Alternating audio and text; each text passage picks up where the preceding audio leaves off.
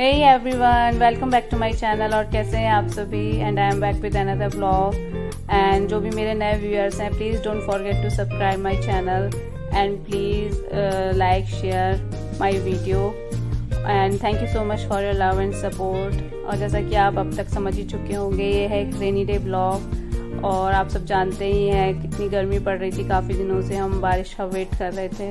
और मानसून आ चुका है और सुबह से यहाँ बारिश लगी हुई थी, काफ़ी तेज़ हवाएँ चल रही थी। और मौसम भी काफ़ी अच्छा हो गया था, गर्मी में थोड़ी राहत मिली थी बारिश होने से। और ये होल मंथ ऐसा लगा ही रहेगा, बारिश, गर्मी बारिश, गर्मी, पूरे महीने ऐसा चलता ही रहता है, जुलाई, अगस्त। और आई होप आप सब भी बारिश इंजॉय कर रहे होंगे।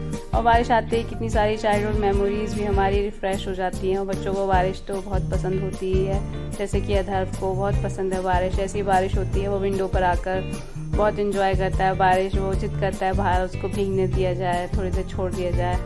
और रेन रेन गो अभी उसका चलता रहता है कंटिन्यू काफ़ी देर तक वो विंडो पर इंजॉय करता रहता है। और बारिश हो और हम इंडियंस को पकौड़े खाने का मन ना करे, ऐसा तो हो ही नहीं सकता।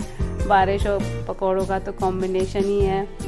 और तो आज के इस ब्लॉग में मैं आपके साथ, मैंने जो पकौड़े बनाए थे, उसकी रेसिपी शेयर करूँगी। आई होप आप सब इंजॉय करेंगे। इसके लिए मैंने कुछ एक अनियंस क्लीन करके और लेंथ वाइज फाइनली चॉप कर लिए थे।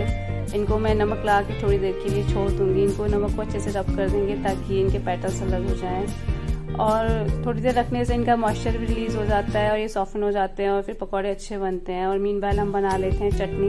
इसके लिए मैंने जार में ले लिया है धनिया उसमें ऐड किया है थोड़ा सा जीरा, थोड़ी सौंफ, हरी मिर्च गार्लिक गार्लिक ऑप्शनल अगर आपको पसंद है तो आप ऐड करिए। थोड़ी कच्ची कैरी, काला नमक, थोड़े यहाँ पे मैंने मिंट लीफ भी ऐड किया है। इसमें थोड़ा पानी डाल के इसको हम चटनी बना लेंगे। ये हमारी मिंट कोरिएंडर ग्रीन चटनी हो गई है रेडी और ये आप इसमें कच्ची कैरी की जगह नींबू या आमचूर का भी यूज़ कर सकते हैं इसको खट्टा करने के लिए। और देखते हैं हमारे अनियंस ये काफ़ी मॉइस्चर रिलीज़ कर दिया है। और इसमें मैंने ऐड किया है एक चम्मच के अराउंड राइस फ्लावर और इसमें ऐड करेंगे बेसन, थोड़ा हल्दी, धनिया पाउडर, थोड़ा नमक, थोड़ी हींग अजवाइन, थोड़ा काला नमक, थोड़ा आमचूर का पाउडर ये भी ऑप्शनल है, अगर आपको पसंद है तो आप ऐड कर सकते हैं थोड़ा काला नमक। अगर नमक हम थोड़ा कॉन्शियसली ऐड करेंगे, क्योंकि हमने अनियंस में भी नमक ऐड किया था और धनिया, हरी मिर्च आप यहाँ पर ऐड कर सकते हैं। मैं हरी मिर्च अभी ऐड नहीं कर रही हूँ, मैं बाद में डालूँगी इसमें। और ये मैंने पतले स्लाइस किए हुए आलू काट के रखे हुए थे उनको हम अच्छे से मिक्स कर लेंगे।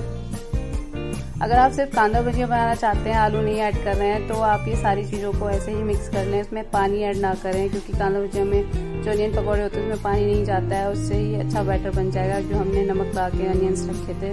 क्योंकि मैं इसमें आलू भी डाल रही हूँ तो थोड़ा सा इसमें पानी ऐड करेंगे और इसमें बेसन थोड़ा कम ऐड करें, बस इतना कि अच्छे से कोट हो जाएगा स्टार्टिंग में बेसन ज़्यादा डाल देंगे तो पकौड़े थोड़े डेंस हो जाते हैं और बेसन बेसन हो जाता है और वो उतने क्रंची और अच्छे भी नहीं लगते हैं खाने में। और इनको हम कर लेंगे अच्छे से मिक्स और ताकि अच्छे से कोट हो जाए। और मैंने कढ़ाई रख दी थी गर्म होने के लिए तेल। मैं यहाँ पे मस्टर्ड ऑयल डाल यूज़ कर रही हूँ। आप कोई भी अपनी प्रेफरेंस का ऑयल यूज़ कर सकते हैं। आलू प्याज के पकौड़े मस्टर्ड ऑयल में बहुत अच्छे लगते हैं। और इनको हम फ्राई कर लेंगे। कभी भी पकौड़ों को ओवर क्राउड ना करें। जितना ऑयल है उस हिसाब से ही उसमें डालें, ताकि वो अच्छे से फ्राई हो जाए। और इनको हम गोल्डन ब्राउन होने तक फ्राई कर लेंगे दोनों तरफ़ से। और अनियन और आलू को आप जितना फाइन पतला चॉप करेंगे, उतने ही आपके पकौड़े क्रंची बनेंगे।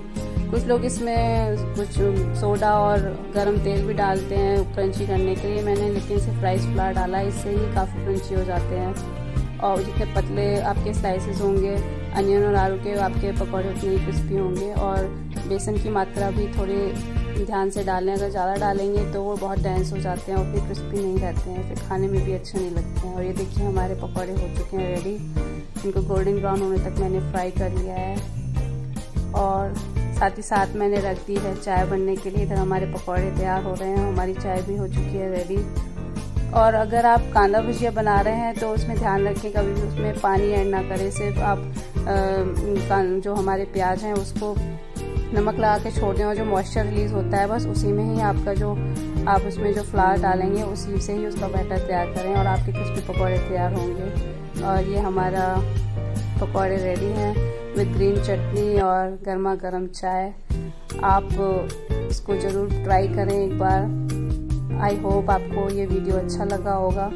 अगर आपको अच्छा लगा हो तो please do like share and comment और ये देखिए अदहर को भी ये पकौड़े बहुत अच्छे लगे थे। उसको आ, मैं बनाती रहती हूँ थोड़े थोड़े दिन में। ये आलू के पकौड़े उसको अच्छे लगते हैं। अनियन तो वो उतना नहीं खाता है शौक से लेकिन जो क्रिस्पी क्रिस्पी आलू पकौड़े होते हैं वो बहुत उसको पसंद आते हैं। आप भी बच्चों के लिए ट्राई कर सकते हैं ये। आ, उनको बहुत अच्छे लगते हैं। और ये मैंने उसके लिए बिना मिर्च के निकाल दिए थे पहले ही। बाद में मैंने उसमें ग्रीन चिलीज ऐड किए थे। और आलू प्याज के पकौड़ों में हरा धनिया वाली मिर्च बहुत अच्छे लगते हैं। आप वो भी ऐड करिएगा उससे भी उसमें टेस्ट बहुत अच्छा आता है। मिलती हूँ आपसे किसी और वीडियो में। तब तक रखिए आप अपना ख्याल। Bye bye take care